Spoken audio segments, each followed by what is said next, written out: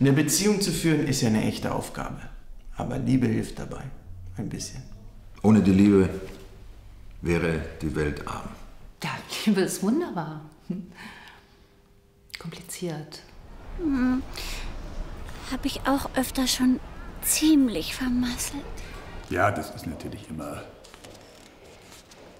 Ist natürlich immer ein großes Wort. Liebe. Ich ähm, kann Liebe geben. Ähm, Liebe ist voll toll. Aber es gibt voll wenig so richtig, richtig coole Typen. Also ich habe sie schon gefunden. Brecht hat ja mal gesagt, Liebe ist der Wunsch, etwas zu geben und nicht zu erhalten. Da geht aber immer noch die Post ab. Ja. Also ich meine ja, ich bin ja in der Medizin, da weiß man sich zu helfen. Ja?